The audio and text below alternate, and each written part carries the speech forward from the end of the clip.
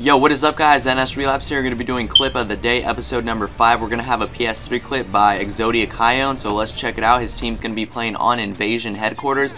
So let's uh, let's see his team hold down the, the cap at first. So Kion's going to go to the top and hide. Uh, Graves is going to get cleared out. His team's going to get cleared out. There goes the second player. Kion's kind of chilling at the top. There goes Post. He's going to go for uh, one kill. He's going to try to get the second kill but he gets cleared. There goes Kion. He's going to get a no-scope. He's going to get another no-scope. So that's two no-scopes. He's going to look down the staircase, sees nothing. He's going to go for another no-scope, prone down. He sees the guy, but uh, doesn't really react to it. Jumps down the staircase, gets another no-scope for the guy trying to go in. There's a guy in already. No-scope again. He's going to get a third no-scope jump down. He's going to continue with his feed on no scopes. He's going to get the no scope. He's going to get a second no scope, and then he gets cleared out finally.